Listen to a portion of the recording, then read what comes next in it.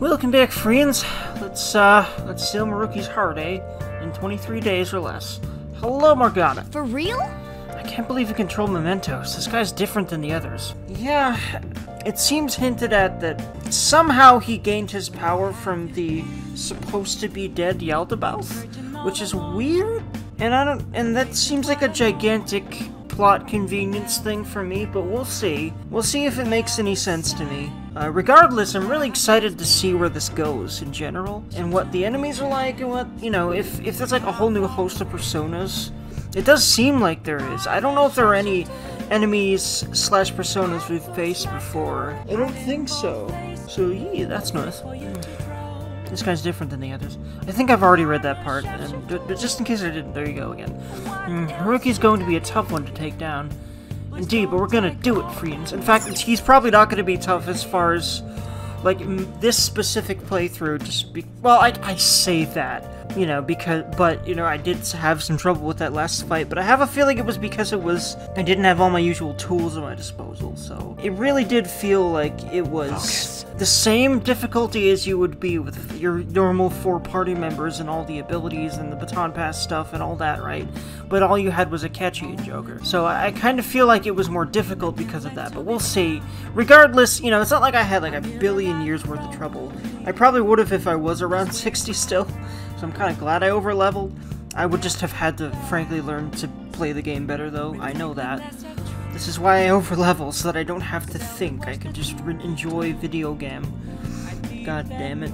And, and I I try to default to that less, but, you know, for this playthrough and for a first, like, practice big boy let's play, I really think it's, um, it's very apt that I go ahead and sort of reduce difficulty and also, you know, again, I, I, I, love this game and am familiar enough with the base game to feel really comfortable doing this as my first big project, as like a practice thing. And I've learned a lot, so uh, work desk. Hey! I know you're stressed, but don't stay up late. There's always tomorrow. Okay. So he doesn't want me to do anything as per usual. Goddamn it, Morgana. You know, I keep forgetting, though, that you have, like, lines when you're on the sofa, don't you? I only just randomly remembered this. Hey, hey. We can't fail. Let's stop Maruki. It's something only we can do. Yeah, I, I haven't seen a lot of these for a lot of the game, because I kept forgetting it was there, and I just randomly remembered. One of these days, I might make a compilation video of more of them or something like that. Or just, like, include them in these, like... I'm thinking of doing big, you know, edited videos later where I just, I, you know, record content that I know I did not record for this Let's Play. And small bits will be mixed into the bigger bits, clip-wise and such. That's an idea I've been tossing around. Hey, got a bit. Hey, hey. This isn't gonna be easy. Let's keep our guard up. Sleepy Dergon! I'm really intrigued where this is going. I really love the snowflakey, uh, um, you know, I love winter. And it's the middle of summer right now in, in where I live in real life. So it's uh, it's nice to soak up the winteriness of you know January in Persona Land, in uh, well, and specifically Shibuya in this particular universe. And I don't remember what year this is supposed to be actually, 2017 or something. I think it's always the year the game comes out, right? That's what it's supposed to be, or at least like the year they start developing. I don't remember. What year? What year is this game set in again? I know it's a specific year, and I know that I know all the Persona games are set in a specific year in real life. And technology and everything goes along with that. Like you know, smartphones are a huge part of you know a lot of the functionality of this game. You know, like all these text messages and other stuff. So, and then in three, you just had flip phones, I think, and, and even four, I think. Uh, actually, I don't remember about phones in four, but in four, in three, I mean, because it's been too long since I played 3 in any form, and I, if I, not if, when I go back to that game, it will be the female protagonist uh, in Persona 3 Portable. Or, you know, uh, a, re, a remaster that they could release that hopefully won't be as lazy as the freaking SMT3 remaster, please. It deserves better than that. What I'd really like is a re-release of Persona 3 that is basically portable plus the answer from Persona 3 FES. I think that would be best. And it would have to be basically a remake because they'd have to pick one of those graphical styles and stick with it and transpose one to the other. I highly doubt they're gonna do that, but that would be fucking awesome. We're heading to the palace today, yeah? A good idea, I'd say, although we mustn't rush, of course. Of course, Haru will always be an all proper. I really do feel like I should romance her one of these playthroughs, but I'm probably going to romance. I was about to say Kasumi, but apparently it's Sumire we'd be romancing. Very interesting. Although we mustn't rush Yeah, honestly, if we want to accomplish anything, we gotta get out there. I agree. Is that alright, leader? Let's go. Hell yeah, let's secure route to the treasure. In that case, let's meet at the hideout after school. I'm guessing that we should be careful option is, hey, we're not gonna immediately meet up. I guess it's it's it's the option for hey, I'm gonna go grab stuff to prepare. I grabbed stuff to prepare earlier, and I still have most, if not all, of that stuff. So we're you. You know, actually, I bet there's definitely better weapons and armor to buy for everyone. So I think I'll do that first. I'll probably exit out and do that. Okay. All right, the hideout after school then. Should we tell Yoshizawa? Well, we should probably still leave her alone. Many hugs for Sumire-chan. Weehee. Tell everyone to meet at the hideout. We should talk all this over before we infiltrate the palace. Hmm. Seems everyone has arrived. Let us begin. Well, after we go grab stuff randomly. I'm pretty sure it'll still let us do that. I hope so. Anyway, if not, I'll be I'll probably be fine without giving everyone better weapons and armor, but I since there was better stuff available for Joker and Akechi, I bet there's better stuff available for everyone, so I'd like to take a look-see at that. Uh. The airsoft shop. Seems everyone has arrived. Let's begin. I keep reading things twice without realizing it until I'm already saying the words.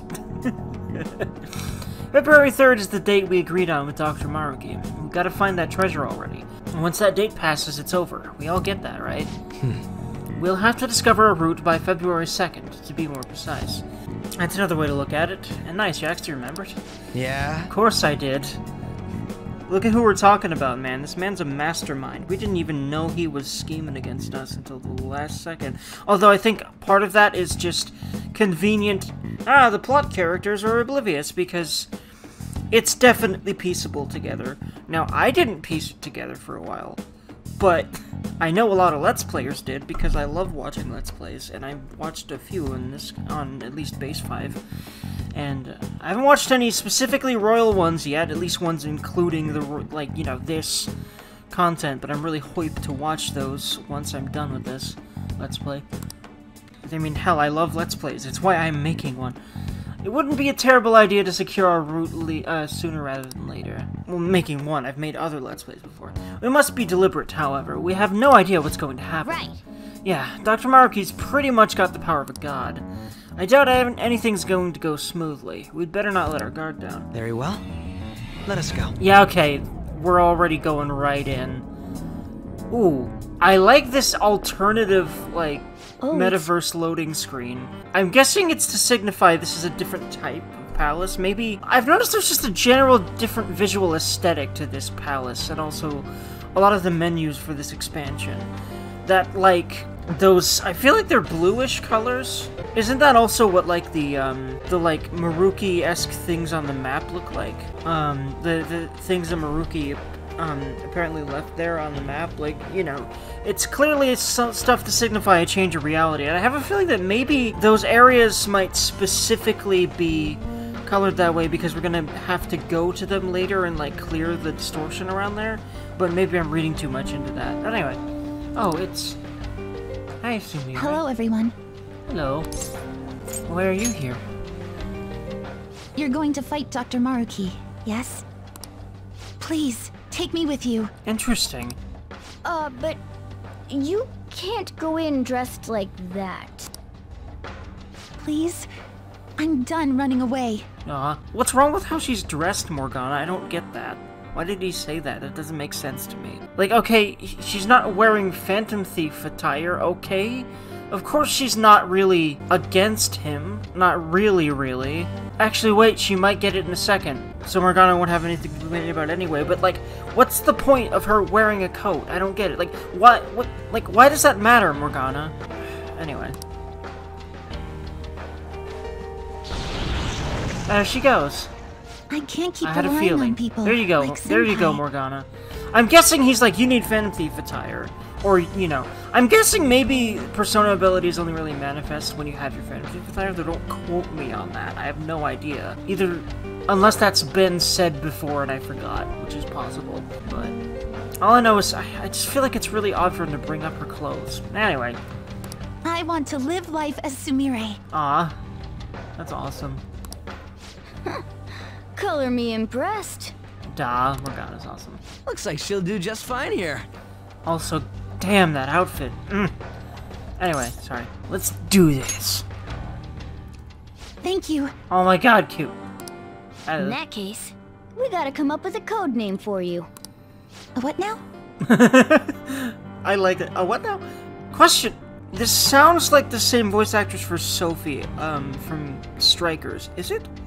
Or is it a different woman? I have no idea. I feel like it's the same girl, just by qual the tone of her voice, the timbre of it, whatever you would call that. But it might not be. I, I feel like it very well might be the same woman. But I think I remember it very well might not be her. In fact, I, I think I'm leaning towards it's not, because when Strikers came out, Atlus USA did a live stream, and uh, it, it had all the voice act, or it had a bunch of voice actors in it, a bunch of the voice actors that were in Strikers, and a lot of them were, of course, you know, the ones that are known from Five. But then the voice actors for Sophie got introduced along with the voice actor for Zenkichi, and I think they both talked about how this is their first game with with Atlus. So I don't actually wait. I don't remember if they said they were if she said she worked on Royal. I know Zenkichi's voice actor is brand new, but I don't remember if she said she worked on Persona 5 at all. I guess I'll have to look that up later. Anyway, It wouldn't be right if you were the only one going by your real name, you know? Oh, you're right. Joker, got any suggestions? ooh, I like Violet. Oh, that's right. Sumire in English is Ah, violet. okay, there we go. Yeah, that sounds awesome. I had a feeling that was the non-joke answer anyway, and also, I like that. Violet. Yes, let's go with that. I like it. Yeah. Excellent. Now remember, everyone, violet, not violent. Violet. I I've always found puns and you know playing with English and and stuff like that always I've always found it amusing. I I love Futaba for that. But yeah, it's literally one letter off. If you're not careful, violet sounds like violent. It's it's a very small change in in the way. There's just a little mm sound in there. Just literally just tiny sprinkle of mm, and then it's violent. Instead of violet. Anyway. Yes, thank you for clarifying. Wow. I'm surrounded by absolute fools. No, you're surrounded by people who actually aren't so fucking serious and dreary and dark and evil murderous. If not being a fool means being like you, Akechi, then I'll I'll choose being a fool. Thanks. Are we done? We should probably get moving. You should probably shut the fuck up before we kill before we kill you again for real this time. I'm sorry. I I know a lot of people like Akechi, and I'm sorry if I'm pissing people off by being so hostile toward him. It's just he's primarily an antagonist. That's what he's there for. And I know I'm I seem to be kind of a lone-ish at this, but let me know, friends, if you have a similar issue.